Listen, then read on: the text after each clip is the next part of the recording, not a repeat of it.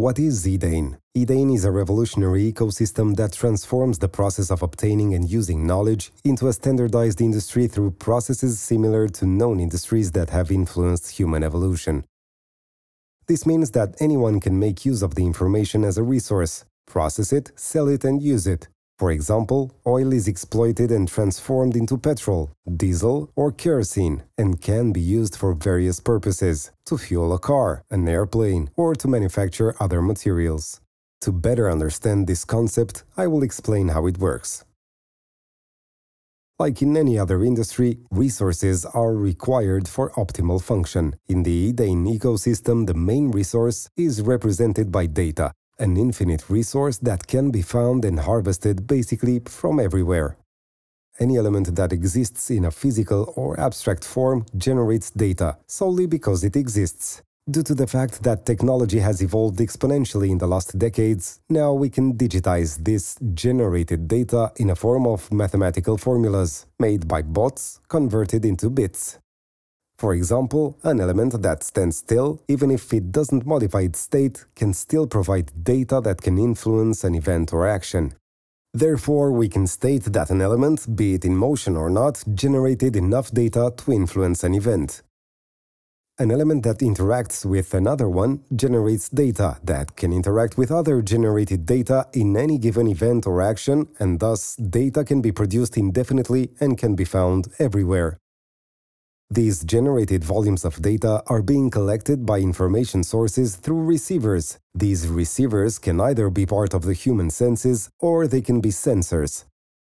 Similar to any other industry, the data is filtered through receivers and stored as information. The information represents the raw material in our industry. And by analogy with the oil industry, the raw material is crude oil which is stored for processing. The information represents data structured in a coherent form that can be stored in the human brain or in digital repositories and that can serve several purposes depending on time and necessity. As in any industry, the raw material must be processed with specific tools in order to obtain the utilizable finite material. In the oil industry, crude oil is processed and thus gasoline, diesel and kerosene are obtained. The revolutionary element of the Edain ecosystem is represented by the C plus 8 platform. C plus 8 is a technology that utilizes artificial intelligence to process information collected from multiple sources in order to obtain a finite matter called knowledge.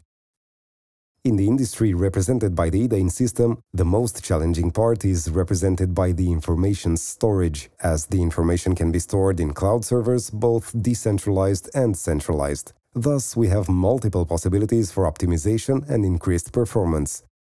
The C plus 8 technology operates as an autonomous environment that is completely unbiased by human operators that can fulfill multiple functions.